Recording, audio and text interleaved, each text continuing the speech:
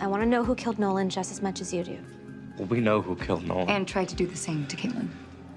You Guys, you can trust Mona.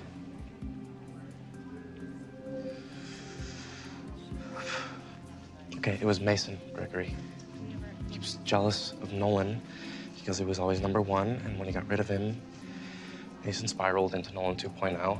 Now he's got a hold of Nolan's stash of secrets, and he's been blackmailing us to get what he wants. Oh, been there, done that. Sorry?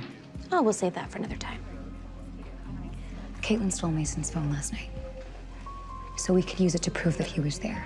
He was at Thorn Hall the night that Nolan was pushed off the roof. And he ran her over as payback. Ah, are we talking about the same Mason? Mason Gregory is in model cute Mason? Yeah.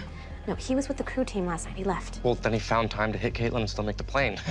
Why would you risk everything and not even talk to me first? because we wanted it to be over. We needed it to be over.